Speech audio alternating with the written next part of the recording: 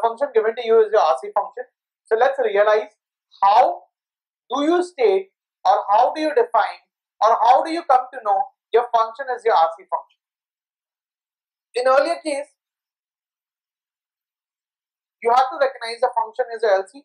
So what you did, you had find all the values for S from the numerator, S from the denominator. You had plot the, all the pole zero plots and you said if your poles and zeros are on the j omega axis and are interlaced with each other, that function or that type is known as the LC function.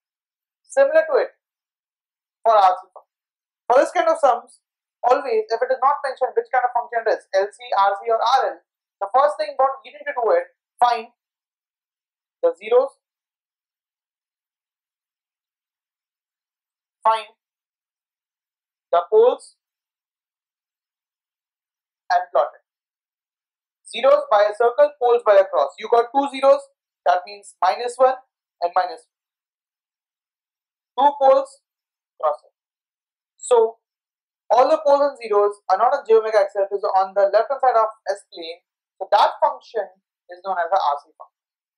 And second logic is that your this part should start with a pole. If it is starting with a pole, that is known as RC function. If it is starting with a zero, that function is known as RL function, which we'll be doing in type next time. So we start with pole, that is nothing but this is your function. So let's start with the Foster form one. Again, the concept remains the same, my dear friend. I'll be going very, very fast, very fast. So let's check you guys have studied the previous type or not. Foster function means your partial.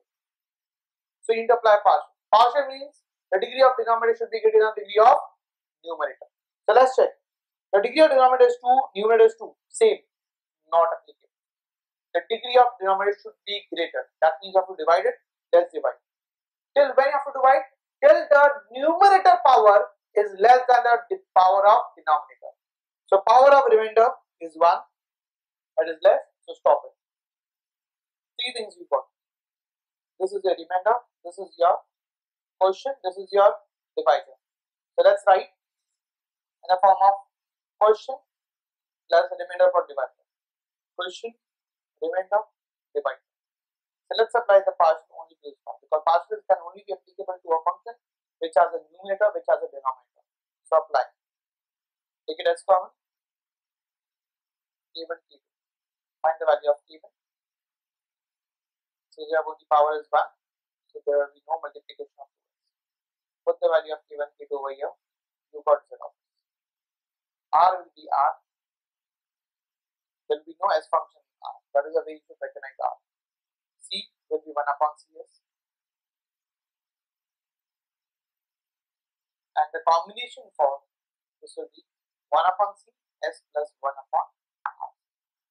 So for combination you got two values r First, you have to compare with the numerator 1 upon c with the that part and then with the denominator. After getting R and C, again the logic is the same. For positive one guys, for all the three realizations for LC, RC and RL, it's remain, the concept remains the same. When I say positive one, you have sub equations.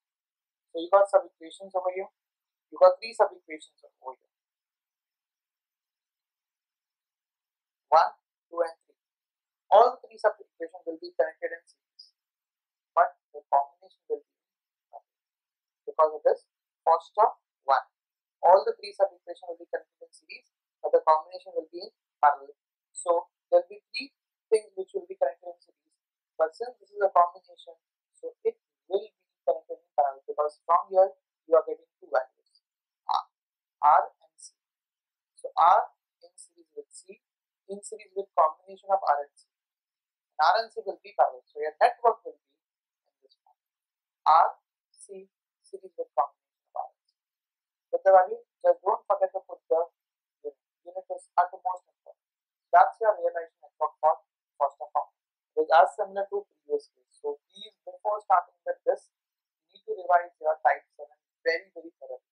Without that, it, it will become difficult. So revise type